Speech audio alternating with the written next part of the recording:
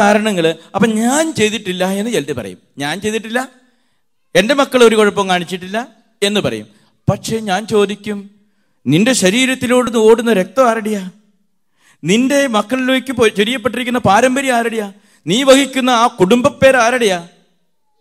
നീ നീ വഹിക്കുന്ന സമ്പത്ത് ഒരുപക്ഷെ കുടുംബത്തിൽ നമുക്ക് ഒരു ഒരു മൂന്നേക്കർ സ്ഥലം നാലേക്കർ സ്ഥലം ഇങ്ങനെയൊക്കെ ഓരോ സമ്പത്ത് കിട്ടിയിട്ടുണ്ട്. ആ സമ്പത്ത് ആരുടെയാ? ഈ കണ്ണീരിന്റെ ആണെങ്കിൽ തീർച്ചയായും അതിന്റെ വില കൊടുക്കാൻ നീ ബാധ്യസ്ഥനാണ്.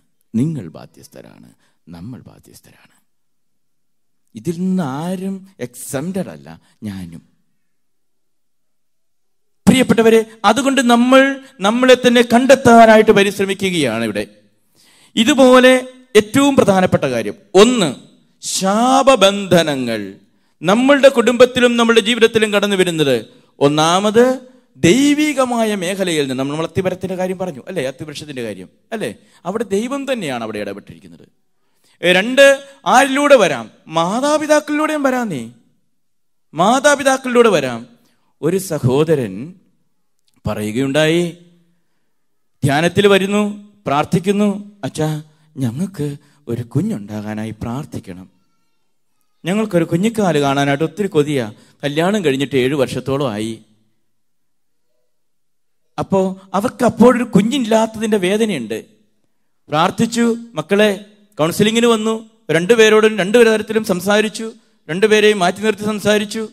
കാര്യങ്ങളൊക്കെ പറഞ്ഞു. ചില കാര്യങ്ങൾ നമ്മൾ എല്ലാവരുടെയും പറയാൻ പറ്റത്തില്ലല്ലോ. അപ്പോ ഏതായാലും കൗൺസിലിംഗ് രംഗത്ത് ഒരു കാര്യം മനസ്സിലായി. മെഡിക്കൽ സയൻസിൽ ഇവർ പോയി പരിശോധനയും കാര്യങ്ങളൊക്കെ നടത്തുക. ഒരു കുഴപ്പവും ഫിസിക്കലി ഇല്ല. പിന്നെന്താണ് തടസ്സം? ഇവരുടെ കാര്യങ്ങളൊക്കെ ഭംഗിയായിട്ട് നടക്കുന്നുണ്ട്. പക്ഷേ കാര്യത്തിന് എന്താണ് ഒരു കുഞ്ഞുണ്ടാകാൻ തടസ്സം? ഞാൻ ചോദിച്ചു മോനെ മക്കൾ അപ്പച്ചനോടൊക്കെ എങ്ങനെയാണ്? നിങ്ങളുടെയൊക്കെ സമീപനം കാരണന്മാരോടൊക്കെ എങ്ങനെയാണ്? സ്നേഹമൊക്കെയാണോ? ആ സ്നേഹം കുഴപ്പമില്ല അച്ഛാ. ഞങ്ങൾ വലിയ കുഴപ്പമൊന്നുമില്ല. പിന്നെ ഞങ്ങൾ ചില അപ്പനുമായിട്ട് ചില ഒരു പ്രശ്നമൊക്കെ ഉണ്ടായച്ചു. അത് ഞാൻ ധ്യാനമൊക്കെ കൂടിയപ്പം ഇങ്ങനെ ടോക്ക് വരുമ്പോൾ ഇങ്ങനെ നമ്മൾ തന്നെ ഓർത്തോളും കാര്യങ്ങൾ അതിനുവേണ്ടി ഇത് എല്ലാവർക്കും കൂടെ പറയണത്. എല്ലാവർക്കും. അവരവർ ഓർത്തോളും. ഞാൻ അപ്പോൾ പ്രയോഗിച്ച ഡയലോഗിന്റെ രീതികളൊക്കെ. അപ്പോൾ ഒരു ഉദാഹരണം മാത്രമേ അച്ഛൻ പറയുന്നുള്ളൂ കേട്ടോ. ഇത് ഉദാഹരണമായിട്ടേ സ്വീകരിക്കാവുള്ളൂ നിങ്ങൾ സ്നേഹമുള്ളവരെ ഈ അപ്പനും മകനും കൂടെ വീതത്തിന്റെ പേരിൽ പ്രശ്നമുണ്ടായി. കല്യാണം കഴിഞ്ഞ ഉടനെ തന്നെ അവന് വീതം വേണമെന്ന് പറഞ്ഞ് പ്രശ്നം ഉണ്ടാക്കി. അപ്പൻ പറഞ്ഞു ഇളയത്തിങ്ങളെ എല്ലാണ്ട് കെട്ടിച്ചിട്ടാട്ടാ എല്ലാവർക്കും കൂടെ അത് കഴിഞ്ഞിട്ട് നമുക്ക് വീതമൊക്കെ വെക്കാം. ഇപ്പം വീതം വെച്ച് കഴിഞ്ഞാൽ പിന്നെ പൊതു വരുമാനത്തിൽ നമുക്ക് കുറഞ്ഞു പോവില്ലേ. രണ്ട് പെൺപിള്ളേരെ കൊണ്ട് കെട്ടിച്ച് വിടാനുണ്ടല്ലോ. അവരെ കൂടെ കഴിഞ്ഞിട്ട് നമ്മുടെ നാട്ടിൽ പെൺപിള്ളേരെ കെട്ടിക്കണ ഒരു വലിയ ചടങ്ങാണല്ലോ പൈസയൊക്കെ ഒത്തിരി ഉണ്ടാക്കണം. കാരണം അവർക്ക് അതൊരു വിഷമമാണ്. അപ്പോൾ അത് ചിലപ്പോൾ മൂത്ത മക്കൾക്ക് മനസ്സിലായെന്ന് വരികയല്ല. കല്യാണം കഴിച്ചു കഴിയുമ്പോഴേക്കും അവർക്കൊരു സുഖജീവിതം അവർ ആഗ്രഹിക്കുന്നുണ്ട്. അപ്പോൾ അത് കൊടുക്കാനായിട്ട് ഈ അപ്പച്ചന് കഴിഞ്ഞില്ല. ഈ അപ്പച്ചന് പെമ്മക്കൊച്ചുങ്ങളുടെ കാര്യം ഓർത്തൊരു വേദന ഉണ്ടായിരുന്നു അപ്പോൾ സാധാരണ അപ്പോൾ ഇവർ ഇച്ചിരി തർക്കവും പ്രശ്നമൊക്കെ ഉണ്ടായി.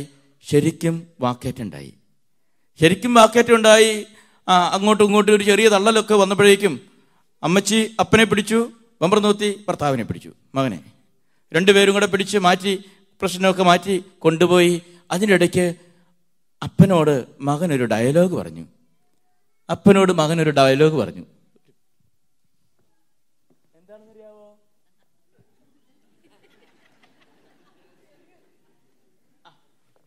ഉണ്ടാക്കിയപ്പോ ഓർക്കണായിരുന്നു കാര്യം നിങ്ങളോട് പറഞ്ഞില്ലേ ശരിയാകിയല്ലാത്തോണ്ടാ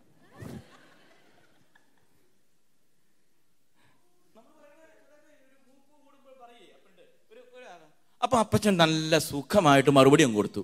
എന്താണെന്നറിയാവോ? നീയും ഓർത്തോടാന്ന് പറഞ്ഞു. നീ ഉണ്ടാക്കലല്ല വരുന്നേ?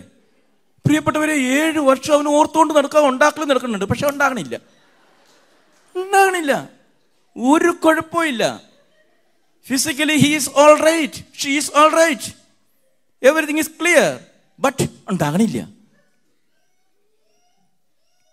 ഞാൻ ചോദിച്ചു ഈ പെങ്കൊച്ചുങ്ങളുടെ കല്യാണം കഴിഞ്ഞോ? രണ്ട് ഐ മീൻ പുള്ളിയുടെ പെങ്ങന്മാരാണ്. ഐ മീൻ രണ്ട് മക്കളും കൂടെ ഉണ്ടെന്ന് ഞാൻ പറഞ്ഞല്ലോ രണ്ട് പെമ്പിള്ളേർ അച്ഛാ അതിലൊരെണ്ണത്തിന്റെ ഓരോ കൊച്ചിന്റെ കൂടെ കഴിഞ്ഞു കല്യാണമൊക്കെ കഴിഞ്ഞു. ഞാൻ അടുത്ത ആളുടെ കൂടെ കല്യാണം കഴിയണം. നിനക്ക് വീതം കിട്ടിയോ? അത് കിട്ടിയച്ചാ ഞാൻ മേടിച്ചായിരുന്നു. ആ മേടിക്ക മേടിക്കാതെ ഒന്നും നടന്നില്ല. അപ്പോൾ അതിന് കണക്കായിട്ട് ഞാൻ പറഞ്ഞു മോനെ നീ രണ്ടേക്കർ സ്ഥലം നിന്റെ അപ്പനിൽ നിന്ന് മേടിച്ചിട്ടുണ്ട്. ഇനി ആ അപ്പൻ രണ്ടോ മൂന്നോ മൂന്നാൽ മൂന്നേക്കറും കണ്ട പിന്നെ മിച്ചമുള്ളൂ. ഈ മൂന്നേക്കർ കൊണ്ട് ഈ അപ്പൻ രണ്ട് പിള്ളേരെ കൊണ്ട് കെട്ടിച്ചു വിട്ടിട്ട് അതിനുള്ള സാമ്പത്തികം ഇല്ല അപ്പന്റെ അടുത്ത്. കാണില്ല. അതുകൊണ്ട് നീ സഹായിച്ചോ ഈ പെങ്കൊച്ചിനെ കെട്ടിക്കാൻ നേരത്ത്? പക്ഷെ അത് എനിക്കൊരു കുടുംബം ഇല്ല അച്ചു. അല്ല നിനക്ക് കുടുംബം ഇല്ലല്ലോ. കുടുംബം ഉണ്ടാകും ഉണ്ടാകുമെന്ന് പറയണമെന്നല്ലേ ഉള്ളൂ. ഒരു ഭാര്യയുണ്ട് ഓക്കെ പക്ഷെ ബാക്കിയില്ലല്ലോ ആകണില്ലല്ലോ. ഇവനിങ്ങനെ സൂക്ഷിക്കുന്നുണ്ട് ഈ രണ്ടേക്കർ കൊണ്ടേ. ഏ? ഒരു കൊച്ചു വരാനായിട്ടും കൊച്ചു വന്നാൽ അതിന് സുഭിക്ഷത ഉണ്ടാകാനായിട്ടും പക്ഷെ വരില്ല. അവിടെയാണ് ബ്ലോക്ക് കിടക്കുന്നത്. ഇപ്പം നമ്മളുടെ ബന്ധനങ്ങളുടെ മേഖല ചില ശാപങ്ങൾ മാതാപിതാക്കളിലൂടെ വന്നാലും ഉണ്ടാകുമെന്ന കാര്യം ആരും മറന്നു പോകരുത്.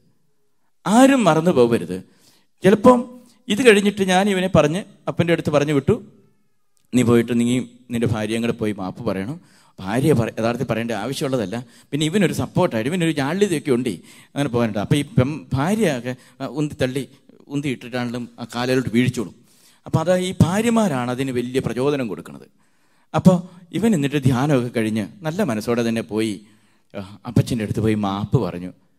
അപ്പം ഞാൻ ചെല്ലുന്നതിന് മുമ്പ് ഞാൻ ഈ അപ്പച്ചന്റെ ഫോൺ നമ്പറൊക്കെ മേടിച്ച് ഞാൻ അതിയാനെ ഒന്ന് വിളിച്ചായിരുന്നു. കാരണം ചില കാരണവന്മാർ നല്ല നല്ല ടെമ്പർ ഉള്ളവരാണ് അവർ ചിലപ്പോൾ ആദ്യം നാലെണ്ണം കീച്ചിട്ടേ ബാക്കി കാര്യങ്ങൾ ക്ഷമിക്കുകയുള്ളൂ. അപ്പം ഞാൻ ഈ അപ്പച്ചനോട് പറഞ്ഞു അപ്പച്ച കൊച്ചിന് ഇങ്ങനെയൊക്കെ വന്നല്ലോ. എന്റെ അച്ഛൻ ഞാൻ എന്നും പ്രാർത്ഥിക്കുന്നുണ്ട്. അവനൊരു കൊച്ചു കണ്ടോ ഒരപ്പന്റെ മനസ്സതാ. കാര്യം അങ്ങ് പറഞ്ഞു പോയി. പക്ഷെ മനസ്സിൽ ഈ അപ്പനെന്നും ഇവന് കുഞ്ഞുണ്ടായിട്ടില്ലെന്ന് പറഞ്ഞോട്ട് എന്ത് ഈ അപ്പനും അമ്മയും പ്രാർത്ഥിക്കുന്നുണ്ടായിരുന്നു എന്നോട് പറഞ്ഞു. ഈ അപ്പനും അമ്മയും അന്നേരം ഈ അപ്പച്ചൻ അന്നേരം എന്നോട് പറയാം എന്റെ അച്ഛൻ ഞാൻ അറിഞ്ഞ ഞാൻ എന്നോട് എനിക്കറിയാവുന്ന കേസല്ല അച്ഛൻ അപ്പം ഞാൻ പറഞ്ഞു ആ അപ്പച്ചന്റെ ഭാഗത്ത് ഇച്ചിരിച്ച കുറവുകളൊക്കെ ഉണ്ട് കേട്ടോ.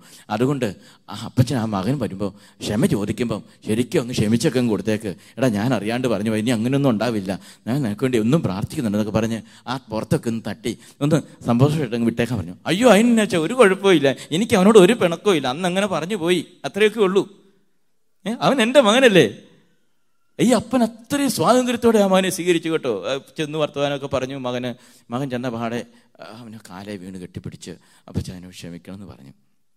അപ്പോൾ അപ്പൻ അതൊന്നും സമ്മതിച്ചില്ല. അന്നേരം പിടിച്ച് വെപ്പിച്ചു. എന്നടാ അങ്ങനെയൊന്നും വേണ്ട. അതിന്റെ ഒന്നും ആവശ്യമൊന്നുമില്ല എനിക്ക് നിന്നോട് പിണക്കമൊന്നുമില്ല ഏ നീ എന്റെ മൂത്ത മകൻ ആദ്യം നിനക്കാ ഞാൻ ഉമ്മ തന്നതെന്ന് അപ്പം പറഞ്ഞു. ഏ എന്റെ മക്കളിൽ ആദ്യം ഉമ്മ തന്നത് നിനക്കാ ഞാൻ എന്ന് പറഞ്ഞു. എന്ന് പറഞ്ഞ് ഈ അപ്പച്ചൻ വീണ്ടും അവന് ഉമ്മയൊക്കെ കൊടുത്ത് പറഞ്ഞയച്ചു. പ്രിയപ്പെട്ടവരെ ഒരു വർഷം തികയേണ്ടി വന്നില്ല. പിന്നത്തെ കഥ ഒരു തുടർക്കഥയായിരുന്നു.